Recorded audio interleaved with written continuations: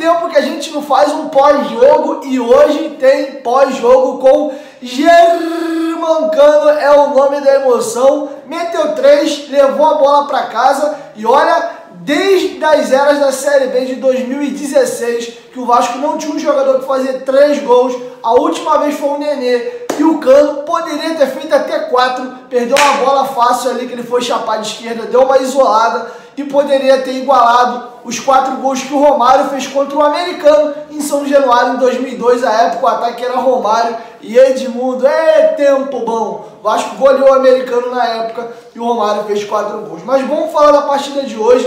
Primeiro tempo do Vasco espetacular. Eu só não diria irretocável, porque teve uma falha do Fernando Miguel. E aí eu vou comentar um pouco mais para vocês. Vamos lá, escalação. Ramon mexeu no time ali além da mexida tradicional, aliás, a primeira mexida que tinha ficado clara, que era a, o Ricardo Graça ganhando a vaga do L, ele fez uma surpresa ali, porque a escalação que vinha rolando no meio da semana era o Bruno César como titular, e ele surpreendeu a todos colocando o Vinícius. Mas vamos cantar a pedra aqui, Fernando Miguel, Pikachu, Ricardo Graça, Leandro Castan, Henrique. Aí ele jogou ali, foi muito legal ver jogando ali Felipe Bastos, e, e, o, e o Andrei, ora o, o, Bastos, o, o Andrei plantava e o Bastos subia, e quando o Andrei subia, o Bastos plantava. E o Andrei foi disparado, o dono do time do Vasco. O Cano fez os três gols, mas todas as ações ofensivas do clube, quem comandava do time, melhor dizendo, era o Andrei. Tudo passava no pé dele, ele era o carimbador, bola longa toda hora, raramente ele errava um passe meteu uma bola na trave, um chute de fora da área, poderia ter feito um golaço, merecia. E vamos jogar mais à frente agora aí. Aí Andrei, Felipe Bastos, aqui armando o jogo, ele tinha o Benite e tem uma variação tática interessante para falar para vocês. Na esquerda, nós tínhamos o Thales Magno, na direita, que foi a novidade dele ali, o Vinícius, e na frente o Germancano. E quando não tinha a bola, esse time jogava assim, ó, duas linhas de quatro, ele tinha aqui né, os dois laterais, os dois zagueiros, e por dentro ele tinha Andrei e o Felipe Bastos.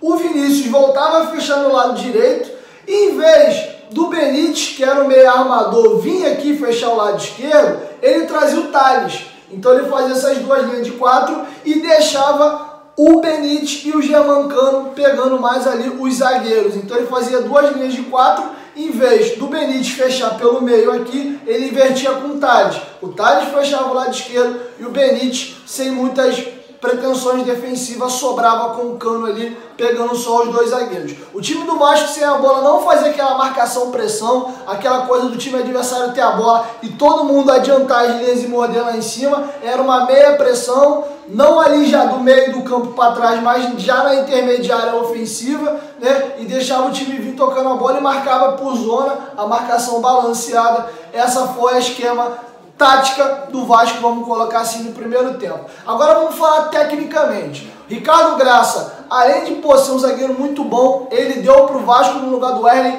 volume de jogo. Muitas vezes você viu no segundo tempo, inclusive o Ricardo Graça fez um lançamento que não lembro quem que ele botou ali na frente, acho que o Cano dominou a bola errada, acabou girando na jogada, acabou do lado esquerdo, e teve uma bola que ele roubou e arrancou, fez um 2, a bola saiu no lado direito, então o Ricardo Graça, além de qualificar o toque de bola do Vasco, ele dá umas de Odivan, o Dedé quando pegava a bola e saía arrancando com a bola, o Lúcio, zagueiro da seleção, Inter de Milão, ele pega a bola e aparece às vezes como elemento surpresa, um jogador rápido, tem posicionamento é, muito bom e compensa a baixa estatura do Ricardo. Partida muito boa. O Castan não tem que falar, muito bem nas rebatidas ali, seguro, comandando, mas muito, muito pouco exigido. E tem a primeira mudança aí. O Henrique com o Ramon Menezes, se ele manter isso daqui para frente, ele vai ser um lateral quase zagueiro pela esquerda. Ele mal passa do meio campo, fica sempre plantado ali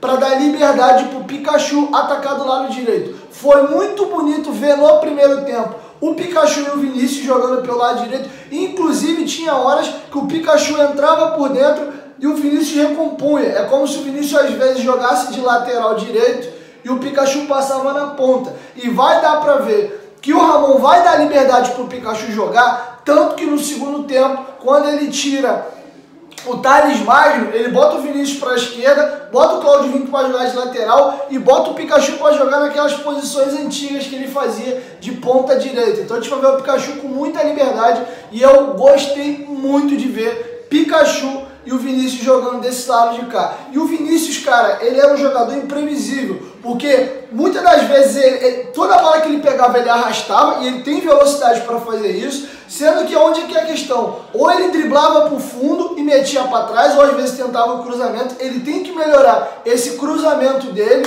Ele vai me lembrar muito o Éder Luiz se ele tiver uma, uma consistência na assistência e muitas das vezes ele balançava e trazia para dentro. Ele vinha driblando para dentro. E aí, quando ele dribla para dentro, ele dá o, a linha de fundo pro Pikachu. Então foi muito legal ver esse lado direito do Vasco. Cara, o André irretocável. Primeiro gol, lançamento longo dele no Vinícius. O Vinícius domina a bola, arranca, mete no Pikachu, aí entra aquilo que eu falei da liberdade. O Pikachu cava um pênalti ali que nem foi. Quando bateu, fez o gol. E o Benítez, ele encostou com o Thales Magno, não deixou o Thales sozinho.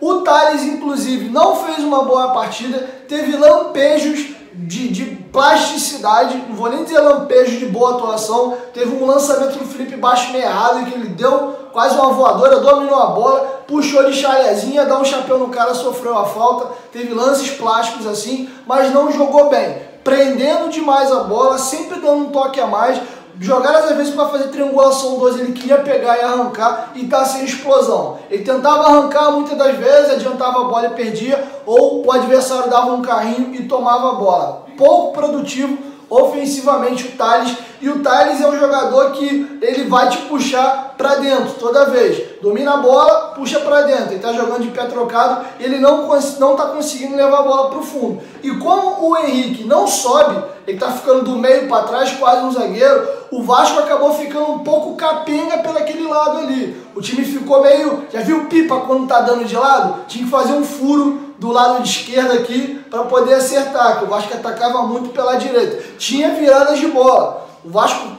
virava da esquerda para a direita e aí quando chegava na direita era da direita para o meio. O Germancano faz o, o, gol que o Bastos mete nele pelo lado esquerdo, a jogada do pênalti. A bola vem o lançamento da esquerda para a direita e aí tem uma, uma, penetração por dentro. Então, muitas das vezes o jogo acontecia do lado direito e acabava pela esquerda não com lateral nem com ponta. Era com volante chegando para pisar ou com Benítez, como aquele lance que ele vem e chuta de esquerda o goleiro espalma. Então teve muito essa questão. O Benítez Cara, parece que tem algum problema na perna. Meu pai costuma dizer que tem a merda seca agarrada na bunda. Ele corre puxando a perna assim. Ele não tem muita velocidade. Várias bolas foram enfiadas para ele ali. E ele se matava. Aquele parece que faz uma força do caramba para correr e quase não sai do lugar. Mas foi um jogador que, quando tinha a bola no pé, passe muito qualificado e sempre balançava, deixava o jogador adversário confuso, dava o passe, recebia. Ele aproxima para fazer tabelas.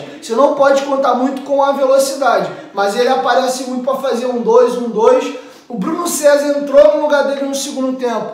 Até fez uma jogada ou outra boa no segundo tempo, inclusive a bola que ele rola para o cano, o cano isola, mas apresentou pouco. Dá para ver que o Bruno César está mais magro, mas ainda prefiro o Benítez fazendo a função. Mas o Benítez tem que ganhar mais força física, porque você vê que ele está meio fisicamente ainda não tá quem, tá quem. Então, cara, gostei muito. O Germancano foi aquele cara da, do, da finalização perfeita, pênalti no canto guardou, bola do baixo para ele, chapou no, no, no, no contrapé do goleiro. E também uma bola depois que veio para ele, acho que foi o, não, minto, o Benítez foi chutar, meio que a bola foi meio furada, ele bateu no contrapé do goleiro. E o terceiro gol sim, a bola vem do Vinícius para trás, o baixo finge que vai chutar, rola e aí ele bate devagarzinho no canto do goleiro mesmo, mas ele faz o gol. O Cano errou uma finalização, que foi a isolada que ele deu, mas fez uma ótima partida. É um jogador que tem a finalização, cara, muito boa.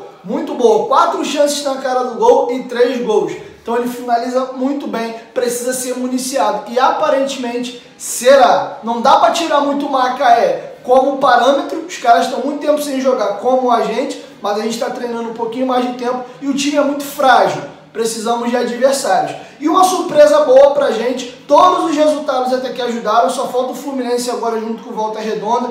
Se o Fluminense ganhar do Volta Redonda, o Vasco depende só de si para se classificar. Era uma classificação quase impossível, mas agora tá bem tranquila pra gente fazer. É só ganhar do Madureira na última rodada, que aí a gente vai para as finais. Então foi muito legal ver. Segundo tempo, o Vasco é um time que gosta da bola, não rifa a bola, sempre segura, triangula. Teve duas oportunidades claras de gol, que foi ali a bola na trave do André e a isolada que o Cano deu. Teve um chute também do Cláudio Vink. As alterações do segundo tempo acrescentaram muito pouco, o time perdeu qualidade. O Vink para mim não entrou bem, apesar de ter pisado na área duas vezes ali, mas um passe que ele podia ter dado pro Cano forte, ele deu a bola picotada, deu tempo do zagueiro cortar e teve um chute que a bola veio para ele, ele estourou no zagueiro, se ele rola, o Cano vinha mais limpo para fazer, mas é aquilo, o cara tá sem jogar um tempão, pô, quer tentar fazer um golzinho para poder ganhar uma moralzinha. De positivo ele participou da jogada. O Lucas Santos eu gostei, toda vez que ele tentava o drible ele acertava, mas ainda pecando a porcaria do passe. Mas gostei da, da, da movimentação que ele deu para o lado esquerdo. Me vi um jogador mais flutuante e com mais poder de drible do que o Thales, por exemplo. Mas errando muito passe ainda. Vamos observar um pouco mais o Lucas Santos. Pode ser que a gente ganhe uma opção para aquele lado esquerdo. O Raul apareceu muito pouco, não dá para julgar. Bruno César mais ou menos apareceu um pouquinho. Cláudio Vink já falei. Então, e o Fernando Miguel fez uma defesa lá, Gordon Banks, e quase impossível ele pega no canto. Até quem viu os stories ali que eu fui narrando lance a lance, por logo no escanteio ele faz uma puta merda. Até brinquei que era melhor ter tomado o gol, porque era uma bola muito difícil, ninguém ia criticar ele pra fazer aquela merda ali. Mas vamos dar, dar uma moral pro Barba aí, fez um defesão e tá sem ritmo. Mas o Fernando Miguel costuma ter essa, essa dificuldade de sair do gol. É algo para ele melhorar. Eu gostei muito da atuação do time do Ramon, cara, outro time, time compacto, todo mundo participa do jogo, posições bem definidas. Teve um escanteio que o Castan gritou para todo mundo: não é homem, é homem, é zona, fica ligado. Então todo mundo sabe o que tem que fazer. O Henrique não avança, o Pikachu com liberdade para subir. Quando não tem a bola, duas linhas de quatro e mais dois aqui, e definido, era sempre Benítez e Cano, não era aquela zona, cada hora era um. Então, cara, é nítido que o Ramon entende de parte tática e tem liderança, porque os jogadores estavam fazendo aquilo que ele pede. Não dá para dizer que o Vasco agora é o melhor time do Brasil, nem que porra vai ser outro time, porque de novo, o Macaé não é parâmetro para nada e também essa situação física toda maluca das duas equipes aí é meio complexa. Beleza? Então, esse é o pós-jogo do Dieguinho, essa é a minha análise. Craque da partida, para mim, Vou ter uma opinião um pouquinho diferente, explico porque foi o Andrei, foi o cara que comandou todas as ações, o Cano foi brilhante nas finalizações, mas com a bola o Cano participou pouco. O Andrei, além de participar de quase todos os lances de gols, inclusive o lançamento que ele dá ali para iniciar a jogada do lance do pênalti, quase fez um golaço. E o Andrei, além de roubar a bola, ele comandava o meio campo, estava em tudo quanto é lugar. Parecia que tinha três André em campo. Incrível a personalidade do André. E o Cano, não tem como falar, maravilhoso, espetacular. Três gols. São os dois craques da partida. O Cano pelos gols e o André pela parte ofensiva maravilhosa. E o Vinícius, cara, parabéns, moleque. Mantenha essa sua pegada, que você jogou muita bola, muita personalidade. E uma observação de quem acompanha o Vinícius há muito tempo.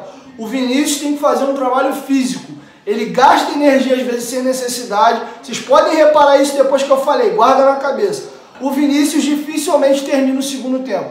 Ou ele arreia ou ele é substituído. Ele tem dificuldade, lembra o Pedrinho do Corinthians nesse sentido, de fazer dois tempos. Ou ele acaba se arrastando, ou ele é substituído antes. Ele tem que melhorar a parte física para aguentar e aprender a dosar. Não é arrancar toda hora, ou às vezes poupar, não correr em bola errada, porque aí ele tem que estar inteiro para os dois tempos. Então é isso, rapaziada. Me despeço por aqui. Se inscreva no canal, ative o sininho, deixe o seu like, compartilhe esse vídeo com seus amigos e deixe a opinião de vocês aqui. Um, dois, três, futebolaço. Tamo junto, família. E a qualquer momento o Dieguinho volta. Vasco, tamo junto.